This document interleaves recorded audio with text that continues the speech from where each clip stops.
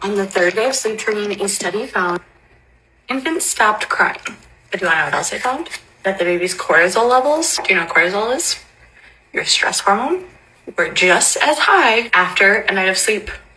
They didn't cry than before while they were crying. This quite literally proves, while every child is going to be different, that babies who are sleep trained stop crying because they know no one's coming for them. By day three, the baby stopped crying, but cortisol levels stayed high. That proves they've given up. They know no one's coming. That is quite the generalization.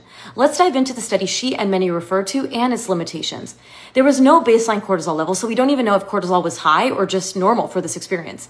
Tiny sample, only 10 babies of the 25 finished the study. No control group, so we can't even blame sleep training for the changes. Follow up, a grand total of three days. Even their own data tells a different story. Babies stopped crying by day three. Hello, successful sleep training. They stopped crying.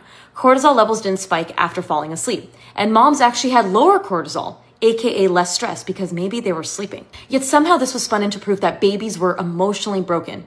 Here's what stronger science shows. The Gradisar et al. study in 2016, a randomized control trial, measured infant cortisol before and after sleep training.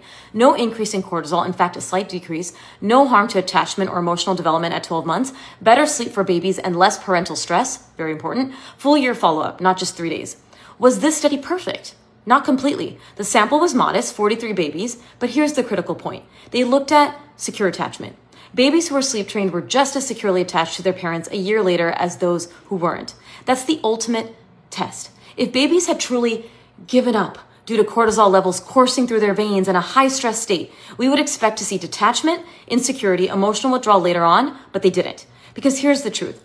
Cortisol rises anytime we face something hard or new. It's not necessarily a neon sign for trauma. And sleep training is new to a baby. Now let's be real. Deciding whether or not to sleep train and whether to use a method that involves crying, that's a personal choice. But it is important to know the data and where there are limitations and flaws. Because the cortisol fear narrative is just that. Fear, not fact. Choosing to sleep train doesn't mean breaking trust, harming attachment, or abandoning your baby. It means making a decision based on your family's needs, not internet fear. You are the expert on your child, and making thoughtful, loving decisions, whatever you choose, is the very definition of good parenting. Want to learn more about cortisol and sleep training? Listen to my podcast episode, Crybabies, Cortisol Research and Secure Attachment, and see the caption for more.